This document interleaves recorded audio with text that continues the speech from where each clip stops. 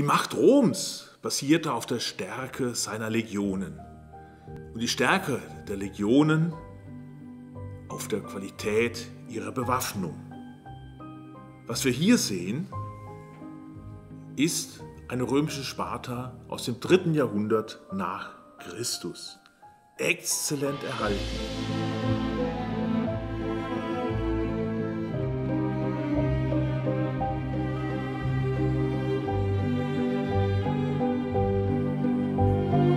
Und das ist hier das Besondere.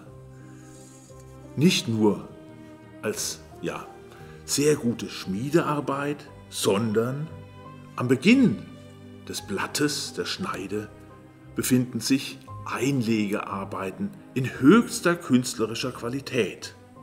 Zu sehen auf der einen Seite der Kriegsgott Mars mit Lanze. Das ist aber nicht das einzige Bild.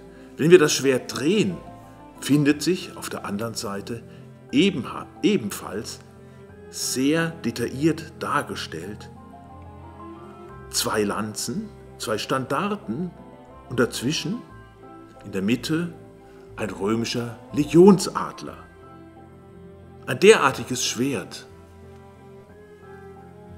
war sicherlich nicht die Bewaffnung eines einfachen Legionärs, sondern zweifellos die eines Centurio oder eines noch höher angesiedelten römischen Offiziers.